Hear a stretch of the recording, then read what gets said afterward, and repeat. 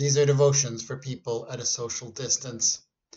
We are now in Holy Week, of course, and uh, the logic of Holy Week is all focused on one thing, and that is the message of the cross. And the message of the cross is a troubling and difficult message. I was reading this morning in 1 Corinthians chapter 1 verse 18, for the message about the cross is foolishness to those who are perishing, but to us who are being saved, it is the power of God. The cross is about death. It's about uh, humiliation, it is about submission, and it's about losing. It's about losing as the world understands winning and losing. And and of course that's foolishness. The the world that we're living in every day is constantly telling us that that that is the ultimate foolishness to give in to death, to give in to suffering. Um, and yet that is the message of this week, and that is the message of the cross. I also read this morning from John chapter 12, verse 24. Jesus is speaking, and he says, Very truly I tell you, unless a grain of wheat falls into the earth and dies, it remains just a single grain. But if it dies, it bears much fruit.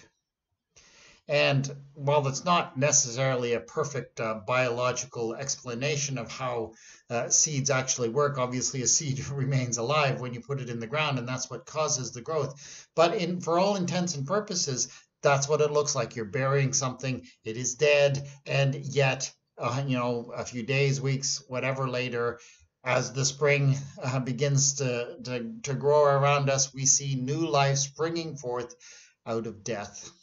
And uh, that is foolishness as far as the world is. Uh, we don't give up. We don't. We cling to to life. We cling to whatever sense of victory that we think the world can give us. And and yet Jesus says the way of success, the way of life, is to go through death. And and I ultimately believe that we will never advance uh, you know, whether we're talking as individuals or corporately as the church, or sometimes even as the community at large, we will never advance to the next step in our life unless we die to something, unless we give up to death and, and struggle with it. Uh, uh, giving it up so that we can embrace something new. And that's what Jesus is saying. Uh, if we're going to see renewal, if we're going to see new beginnings, we have to pass through the shadow of death. And I think that's a message, obviously, very much for today and where we are. Uh, we are living through a time of great fear and anxiety, and of sickness and of death. And it is hard to see this as anything but, you know, disaster, which of course it is, anything but grief, which of course it is for those who suffer losses but it's also a place where new hope and new beginnings come from. And we also need to be open to that. And that is the message of the cross.